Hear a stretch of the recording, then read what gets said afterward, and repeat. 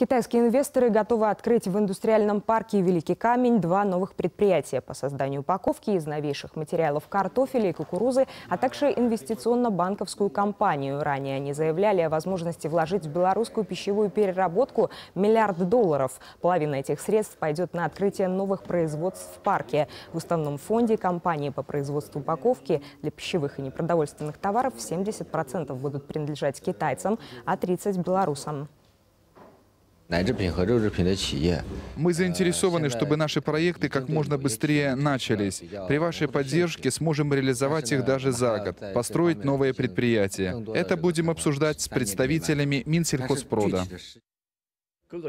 Это будет ноу-хау проект, упаковка из полилактата, новые технологии, новые материалы. Мы сможем поставлять эту упаковку по всему миру. Она заменит пластиковую, которая используется сейчас.